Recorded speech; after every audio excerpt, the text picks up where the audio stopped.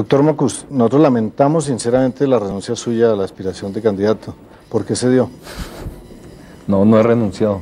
¿Usted no cree que después de esta situación donde no lo han comprendido, donde lo han con- criticado, considerado ridículo, de pronto hay mucha gente que espera que usted renuncie?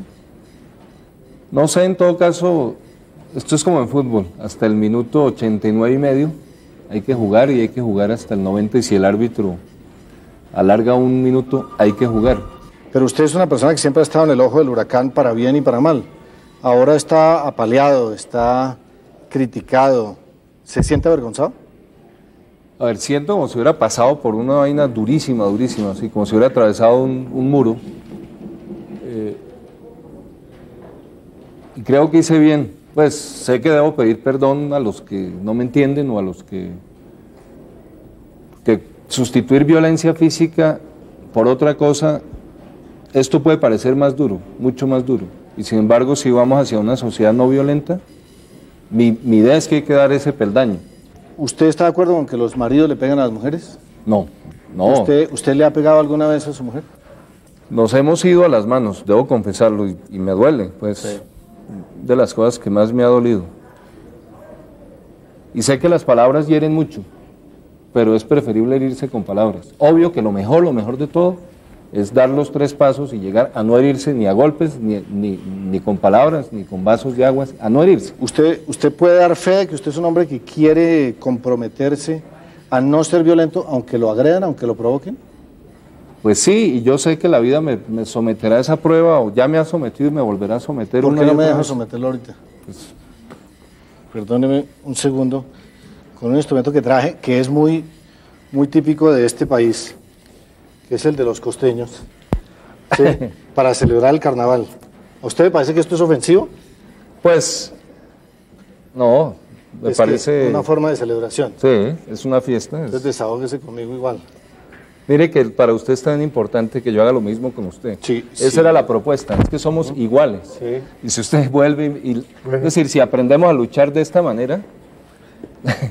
de- mire, en el carnaval de Pasto uno re- pasa de su Creo que se le fue más a usted. Muy bien. Bueno, ¿usted podría garantizar que usted no le va a pegar a su mujer nunca más y que usted no le va a pegar a sus hijos? Sí. ¿Puede garantizar? ¿Bajo la Pues, gravedad del juramento? Yo puedo prometer, sí. y- No, prometer y jurar es no, no, distinto. juro, juro. Pues Dios lo, No, yo Dios sé, lo juzgará Y que me ahorque su como intimidad. pueda ahorcarme. Ojalá los colombianos fuéramos capaces de jurar y eso no se da.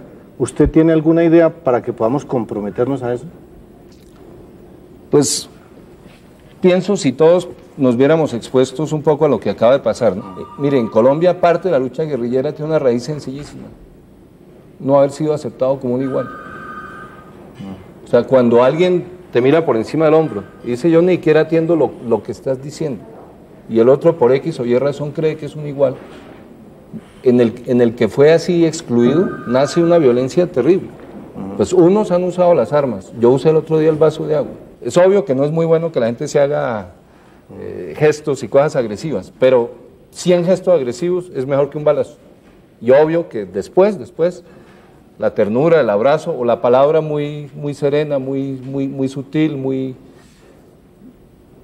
Esto es complejísimo porque parecemos a ratos convertidos en payasos. Yo no sé cómo me doy, pero lo veo usted. ¿Y será que nuestra sociedad requiere, requiere dirigentes que sean capaces de, de pasar, decir, no importa, has dicho todo lo que ayude, 25 mil muertes al año hay que bajarlas a 10 mil, a 11 mil, que es lo que nos corresponde si fuéramos parejos a los latinoamericanos.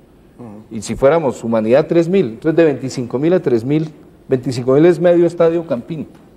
Entonces, a mí de verdad hay momentos en que me, me angustia la lentitud con la cual la sociedad colombiana asume la principal tarea de una sociedad que es proteger la vida de la gente.